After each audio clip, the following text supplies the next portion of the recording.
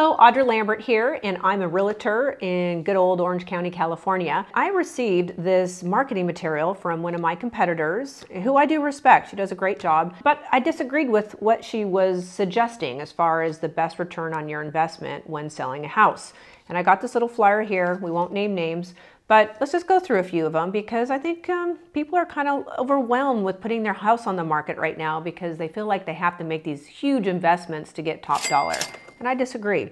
I think you make your house look really clean, you polish it, you put it in the best light, you declutter, right? You do things like that. But some of these items I'll go over and discuss. So the first one up on the, uh, the brochure here is landscaping.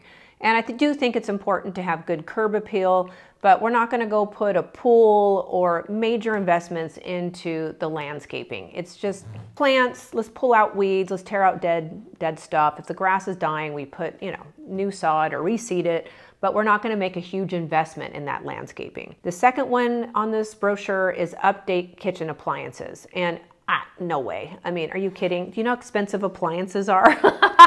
now, if they're super dated and they're not working and the buttons and the things and the levers don't work, then yes, you're going to want to replace it. But honestly, I wouldn't buy a brand spanking new one. I'd buy a refurbished model, something like that. Just remember, you're selling this house, and I've never had a homeowner or a buyer actually come up to me and say, "Hey, Audra, I don't want that house because it doesn't have updated appliances." You, no, no, no. They're, they're looking at the location. They're looking at how the property feels, things like that. But just don't go buy updated appliances because you think you're going to get a big return on your investment. I disagree. Uh, the next one is a new front door. What? New front door? First of all, that's super expensive. I'm sorry. I, oh yeah, homeowner, let me tell you, you're going to get a really good return on that investment if you go, you know, replace that front door. Okay, that's ridiculous. You know, paint the door, make sure it's in good working condition. Um, if it's fallen off the hinges, okay. But every door I've ever seen in my community does not need to be replaced. So I call, no, don't do that. You're wasting your money. The next one is windows. Okay, do you have any idea how expensive windows are to replace? And technically, you need a permit to put windows in your property unless you only maybe have one window because anything in my area over $500 needs a permit. So if your windows aren't working, obviously get them working. You know, like I have a broken window, I know, rock from the you know, lawnmower guy hit the, what, anyway, replace broken windows. Of course, do that. But to go replace all your windows because you're going to get a big return on your investment, no way. Once again, I've never had a buyer say, "Oh, that one has new new windows. That house does," and so I'm not. I'm going to buy that one instead of the one that I really like that has a better feel. Don't replace your windows if it's not necessary. Okay, the other one on the list is uh, flooring. Yeah, let's just go replace all of our flooring. Okay, guys, I don't mind you putting an investment in your house in an appreciating market.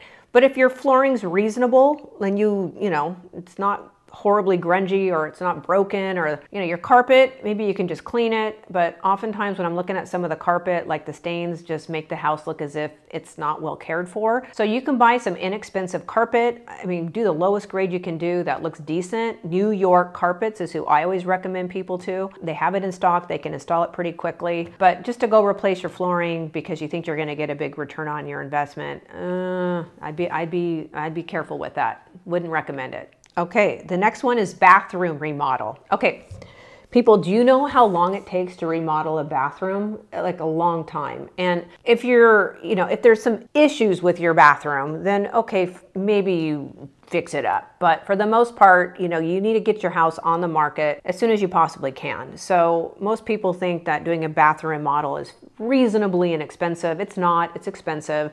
And then you start tearing stuff up and you start realizing that there's other issues like know, mold issues or plumbing issues. It's just, blah. so I would just tidy it up, right? So maybe replace a bathroom, you know, vanity top, or maybe you paint the cabinets, or maybe you paint the walls or put pretty towels on it. But, you know, just to do a whole bathroom remodel, I don't know, man. That's a lot of expense. And once again, I don't think that you're going to get your return on your investment. Once again, like wages are high, the products out there to do some of this stuff are extremely high. And then, you know, the values are starting to um, downturn a little bit. So, give it a good wash, make it look nice. Let's not spend a crap load of money on stuff we're just not going to get back. Doesn't make sense. Okay, the next one is fresh coat of paint.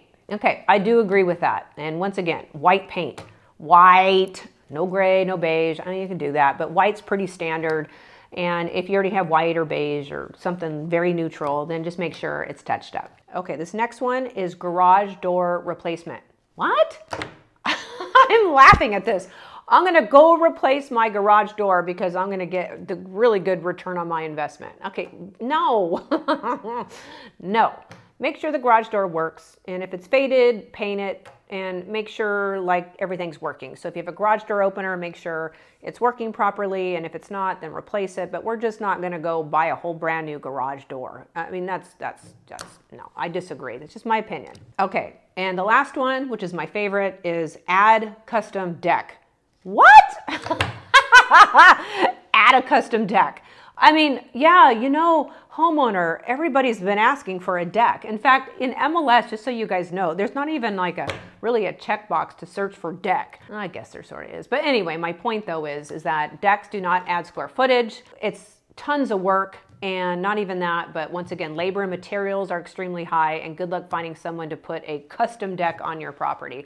And this is kind of silly, but I mean, why would you want to put a deck on a property that may not have a view, right? So in my backyard, for example, I don't have a view, and I don't want to put a deck in my backyard or in my front yard because, you know, I got neighbors around, right? Anyway, the point of this whole video is when you're getting these marketing flyers, don't be discouraged. I just did a video on how to, you know, prepare your house for sale in 2023, and we really need to watch our cash flow. So don't be discouraged. Your house is going to sell if you decide to sell it, and you know, just make sure you put a little elbow grease into it, give it a good wash, make it sparkle. But we don't need to, you know, break the bank to go put a custom deck on our I still can't believe custom deck. Oh my God. All right, that's it for me today. If you guys have any questions, please reach out to me. I'm happy to help.